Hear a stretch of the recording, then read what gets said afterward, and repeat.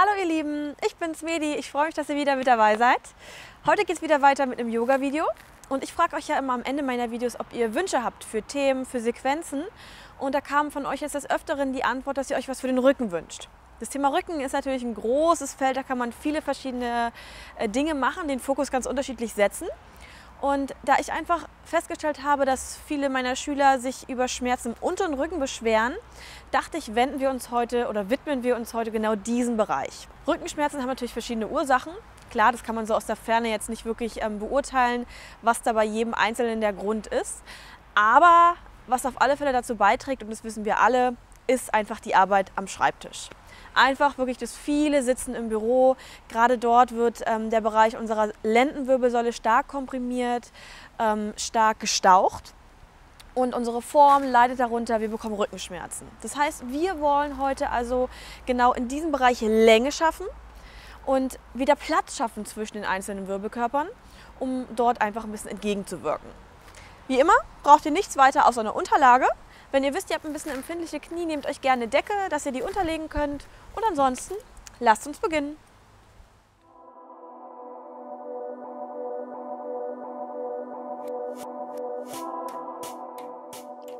Beginne im Liegen. Winkel die Beine an, bring deine Hände auf die Knie und zieh sie nah zu deinem Körper ran. Nimm wahr, wie dein Körper den Boden berührt und lasse deinen gesamten Rücken und dein Gesäß vollkommen schwer werden. Atme bewusst tief ein und lang aus. Von hier beginne langsam Kreise über den unteren Rücken zu machen. Ganz genüsslich kreise langsam in eine Richtung. Gebe deinem unteren Rücken eine schöne Massage. Dann kreise in die andere Richtung. Entspanne deine Schultern dabei und vertiefe den Atem. Noch zweimal kreisen. Und dann komme wieder in der Mitte an. Jetzt beginn deine Beine zu öffnen und zu schließen, so als würdest du schwimmen. Du kannst die Augen gern dabei geschlossen halten, um die Aufmerksamkeit nach innen zu lenken. Noch zweimal. Und dann führe die Bewegung nochmal in die entgegengesetzte Richtung aus. Große öffnende und schließende Bewegungen hier. Letzten beiden Mal. Wunderbar. Nun greife mit beiden Händen dein rechtes Knie und strecke dein linkes Bein lang nach vorne aus. Gebe ganz viel Länge in dein linkes Bein und flexe den linken Fuß. Zieh dein rechtes Knie aktiv zu dir ran. Bleib für zwei Atemzüge. Atme lang ein und großzügig aus. Letztes Mal ein und ausatmen. dann wechsel die Seiten, strecke dein rechtes Bein und zieh dein linkes Knie zu dir ran. Entspanne die Schultern und flexe den rechten Fuß. Auch hier nochmal für zwei Atemzüge bleiben. Lass den unteren Rücken am Boden. Letztes Mal einatmen und vollständig aus. Nun winkel beide Beine an, greife unter die Kniekehlen und beginne nach vorne und wieder zurück zu wippen. Lass die Bewegung ganz geschmeidig werden. Runde den Rücken. Rolle schließlich bis ganz nach oben auf und komm ins Sitzen. Dann kreuze die Beine für den Schneidersitz. Dein rechtes Bein ist vor deinem linken. Und wenn du eine Decke zur Hand hast, setz dich gern leicht erhöht auf die Kante der Decke, damit sich dein Becken noch besser aufrichten kann. Und dann bring die Hände auf die Knie. Atme ein, schieb dein Brustbein nach vorne, werde hohl im Rücken. Ausatmen, lass den Rücken ganz rund werden, zieh den Nabel ran. Einatmen, zieh dich nach vorne, öffne die Brust. Ausatmen, rund werden, schieb den Oberkörper richtig nach hinten. Noch zweimal. Einatmen, Hohlkreuz, Blick leicht nach oben. Ausatmen, rund werden, Nabel ran. Einatmen, öffnen. Ausatmen, runder Rücken. Einatmen, komm gerade nach oben. Und ausatmen, Schultern tief. Nächste Einatmung, heb die Arme kraftvoll über beide Seiten nach oben. Ausatmen, Hände vors Herz. Nun wandere langsam mit den Händen nach vorn in eine kleine sitzende Vorbeuge. Schau, wie weit es für dich angenehm ist. Manche landen weiter vorne, manche weiter hinten. Es sollte sich für dich gut anfühlen. Und dann presse deine Hände in die Matte und schieb dein Gewicht nach hinten in die Sitzbeinhöcker. Vertiefe den Atem. Schick deinen Atem, deine Aufmerksamkeit in den unteren Rücken und in den Bereich der Hüfte. Viel mehr musst du hier gar nicht tun, als wirklich in diese Region deines Körpers zu atmen. Lass den Kopf los, entspanne Kopf und Nacken. Atme ein und mit der nächsten Ausatmung wandere mit deinen Händen rüber zur rechten Seite. Schicke deinen Atem nur mehr in die linke Seite deines Körpers, deines Rückens und deiner Hüfte. Deine komplette Aufmerksamkeit geht genau dorthin.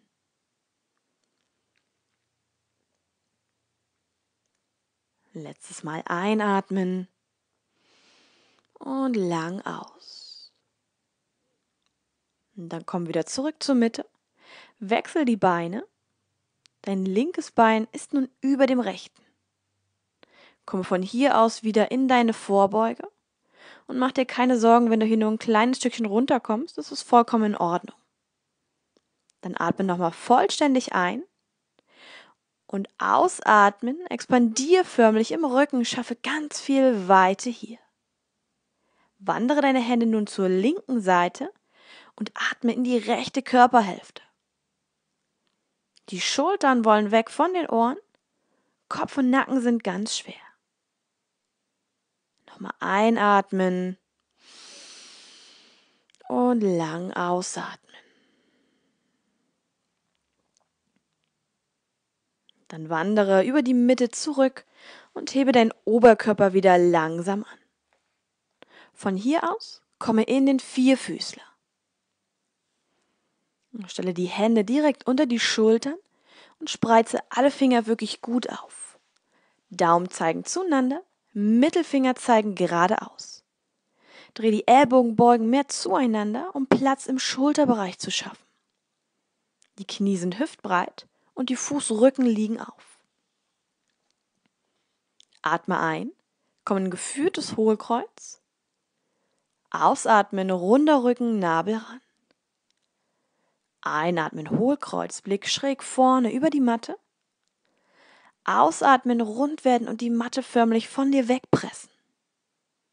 Letztes Mal einatmen, öffnen. Und ausatmen, Katzenbuckel.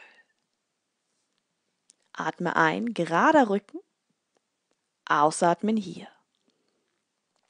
Mit der nächsten Einatmung heb deinen rechten Arm lang nach oben, öffne dich.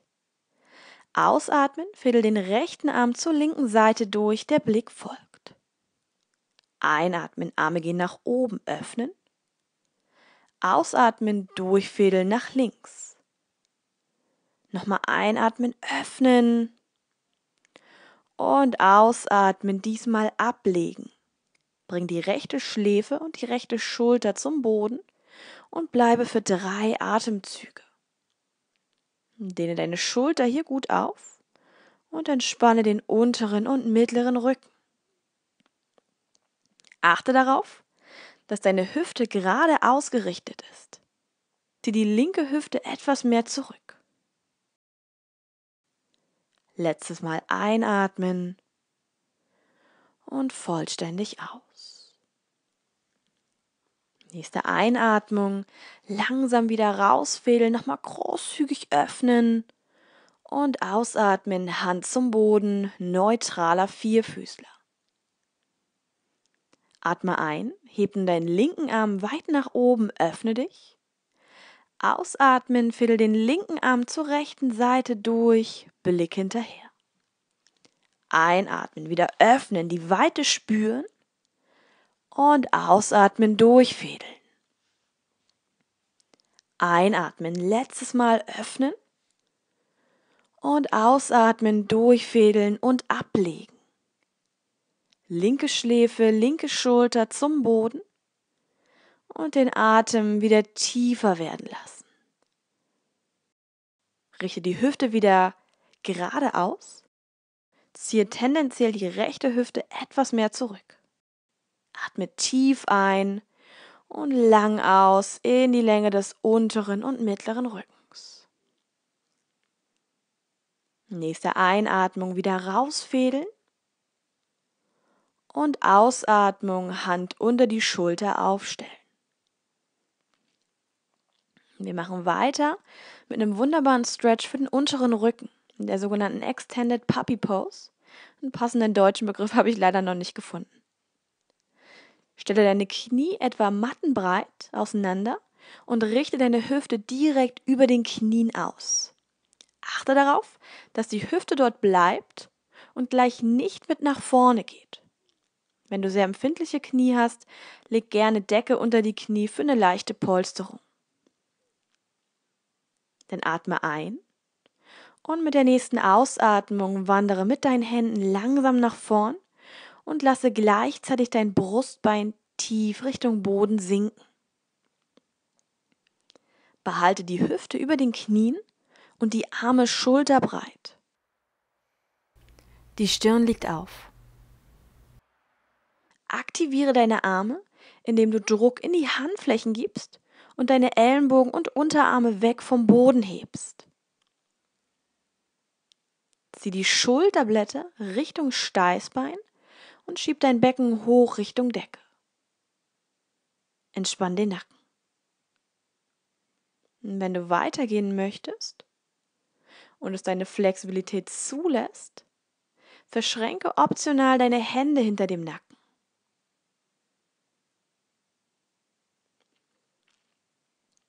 Und wenn mehr Spielraum da ist und es für dich angenehm ist, dann kannst du auch dein Kinn auflegen.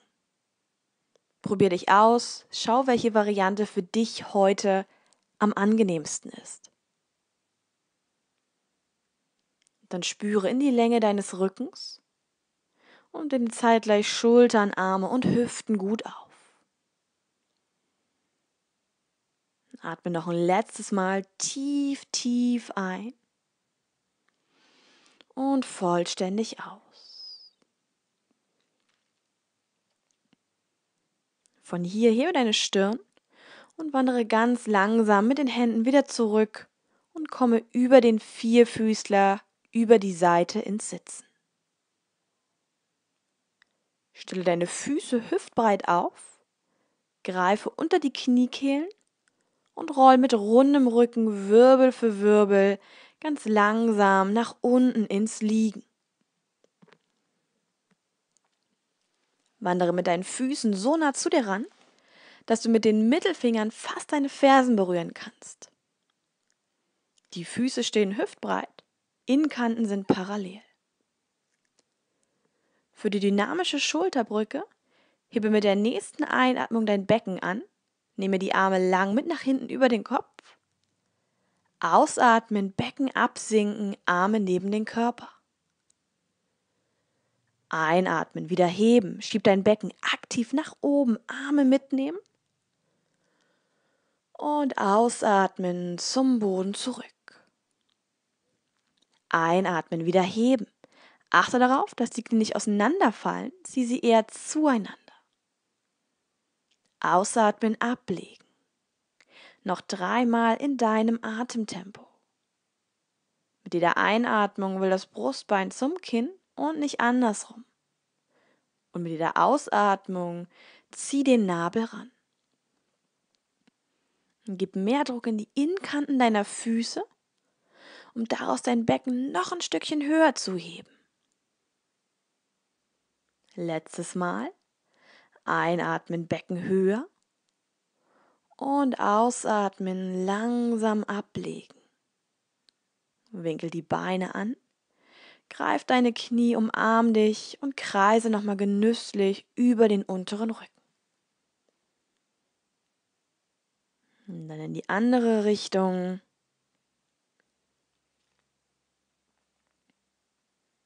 Und dann pendel dich wieder langsam in der Mitte ein.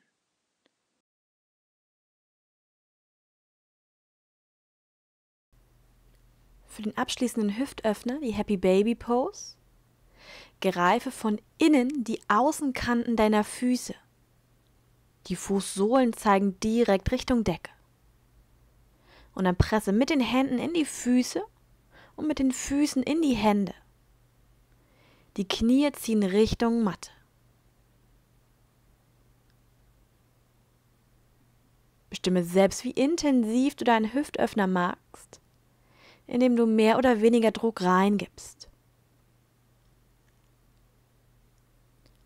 Lasse deinen unteren Rücken und dein Gesäß möglichst am Boden. Spüre in die Öffnung der Hüften der Leisten hier. Vertiefe die Atmung. Beobachte. wenn es für dich angenehm ist, dann wieg gerne so ein bisschen von links nach rechts, von einer Seite auf die andere. Der Kopf liegt am Boden und die Schultern sind entspannt. Und dann werde wieder langsamer, pendel dich ein und löse langsam auf. Und dann streck von hier Beine und Arme mal lang aus Dehn dich, zieh dich richtig in die Länge, spür die Dehnung in der Bauchdecke.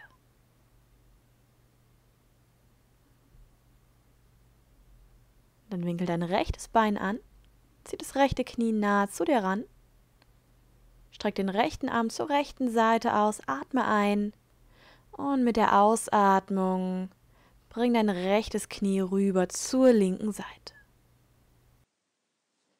Der Blick geht entweder nach oben Richtung Decke oder zur rechten Hand. Lass jetzt vollkommen los und den Körper mit jeder Ausatmung immer schwerer werden. Bring die Aufmerksamkeit zurück zu deinem tiefen Atem und lasse die Ausatmung deutlich länger werden als die Einatmung.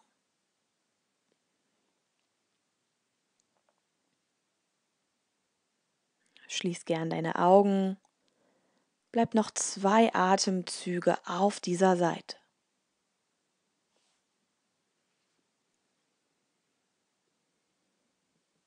Letztes Mal ein und ausatmen. Dann bring die Beine wieder zur Mitte. Streck dein rechtes Bein aus. Zieh dein linkes Knie nah zu dir ran. Löse den linken Arm zur linken Seite und bring dein linkes Bein rüber nach rechts. Der Blick geht entweder nach oben oder zur linken Hand.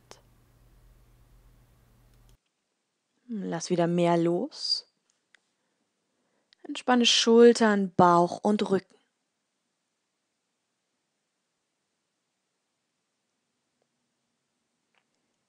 Genieße, wie der untere Rücken hier entlastet und vertiefe deine Atmung. Auch hier noch zwei Atemzüge.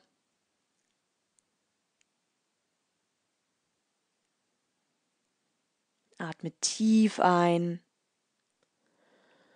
und lang, lang aus. Dann bring beide Beine nochmal zur Mitte. Umarm dich, mach dich ganz klein zu einem kleinen Päckchen, atme ein und mit der Ausatmung lass die Beine nach vorne ausgleiten. Gern bleib noch für ein paar Atemzüge so liegen und komm dann in deinem Tempo langsam über die Seite ins Sitzen. Schön, dass ihr mitgemacht habt. Ich hoffe, es hat euch gefallen. Ich hoffe, es waren Übungen dabei, die sehr wohltuend für euch waren, die sich sehr gut angefühlt haben. Natürlich könnt ihr diese Sequenz ganz regelmäßig machen und einbauen in eure wöchentlichen Pläne. Auch heute gebt mir natürlich gern euer Feedback in die Kommentare. Ich freue mich immer über eure Post.